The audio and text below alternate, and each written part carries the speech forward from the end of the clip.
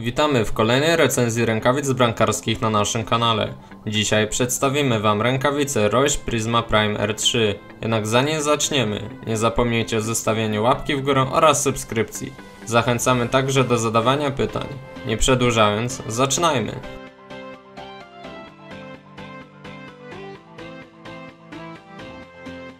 Model Prisma Prime R3 należy do nowo powstałej grupy rękawic Solid. Cechujące się czarno-czerwoną kolorystyką rękawice tej grupy odznaczają się wzmocnioną odpornością na ścieranie oraz dość dobrym chwytem.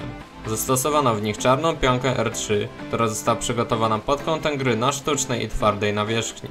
Jest ona ekstremalnie wytrzymała, jednak jej właściwości tłumienia są przeciętne. Warto zaznaczyć, że aby pianka zyskała optymalne właściwości chwytne, musiał wyprać rękawicy 3 razy. Po tych zabiegach nie mogę się przyczepić do ich kleju. Powierzchnia nadgarstka, jako ta najbardziej narażona na ścieranie, została wzmocniona materiałem Duragar. To specjalna wstawka, która uniemożliwia szybkie wytarcie pianki w jej miejscu. Krój Expenscat dodatkowo zwiększa powierzchnię chwytną rękawicy. Bak rękawicy został pokryty lateksem, który nieco zwiększa komfort piąstkowania.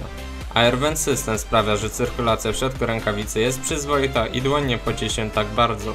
Elastyczne zapięcie Wrist Bandage Full Strap daje optymalne dopasowanie oraz dodatkowe wsparcie i ochronę nadgarstka.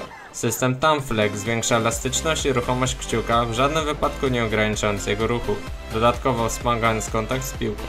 Teraz przejdźmy do moich odczuć odnośnie tego modelu. Według mnie rękawice Roche Prisma Prime R3 są naprawdę świetnym wyborem na treningi, ponieważ trwałość lateksu R3 jest wybitna. Jednak nie polecam tych rękawic do gry w meczach, bo nie zapewniają one dość pewnego chwytu w chwilach, gdy musimy być bezbłędni. Wadą rękawic jest także ich cena.